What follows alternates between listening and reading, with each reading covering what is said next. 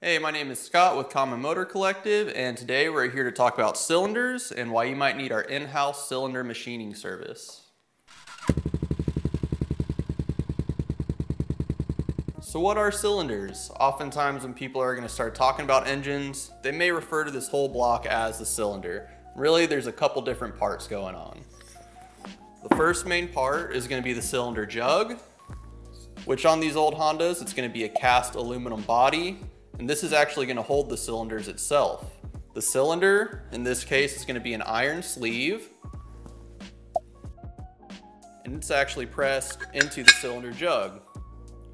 Now, another important thing to know is that this hole here inside the cylinder sleeve is referred to as the bore. Now, a couple important aspects of the bore are gonna be the overall shape, and probably the most important aspect is gonna be the overall diameter of the bore. As the engine runs, the piston is gonna slide up and down in the cylinder. And as that happens, the bore diameter and the shape is gonna change.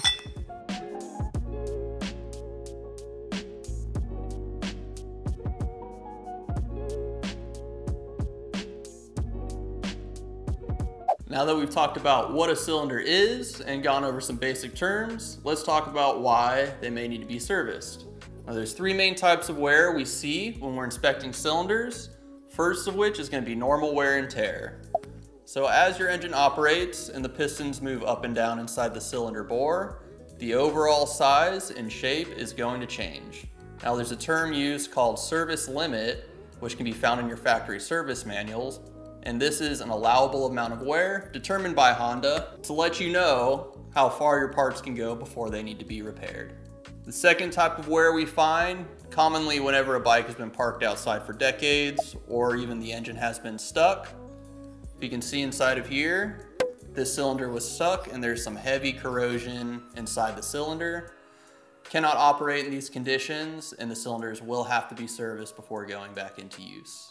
Now the third type of damage we normally see is going to be caused by some sort of catastrophic failure or irregular wear inside the engine. Most times this can still be corrected with our service, but there is going to be a limit.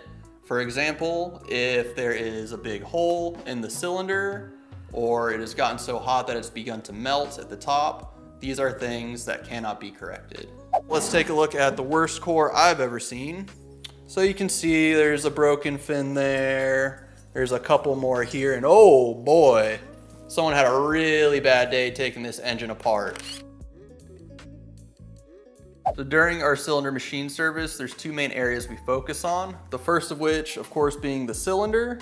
the second is going to be the head gasket surface.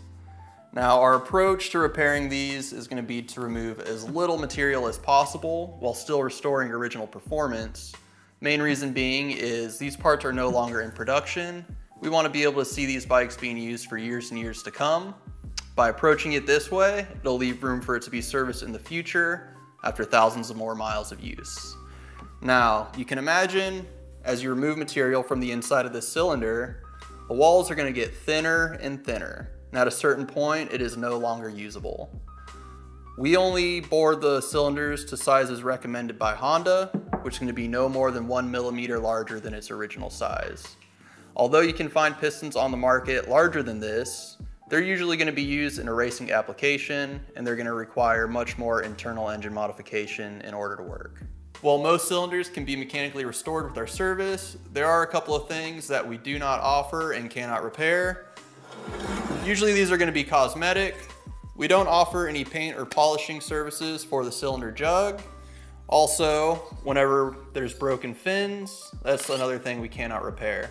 Now, while it doesn't look pretty, that doesn't mean that this is junk. Cylinders like this can still be restored and used for tens of thousands of miles to come. No two cylinders are ever going to be the same, which is why it's best left to experts like us to evaluate and decide the best course of action when it comes to repairing them. One of the biggest benefits you will get from doing this is the money you save on precision measurement tools you don't have to buy.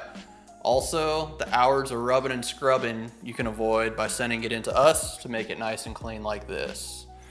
Now included with the service is gonna be a set of our Pulsar pistons. It'll come with all the pistons you need, as well as rings, wrist pins, and wrist pin clips. Don't forget to pick up our overhaul gasket kit as well, and be sure to download your factory Honda service manual from our knowledge base. It's gonna be your step-by-step -step guide to assembling the engine properly the first time without causing any damage.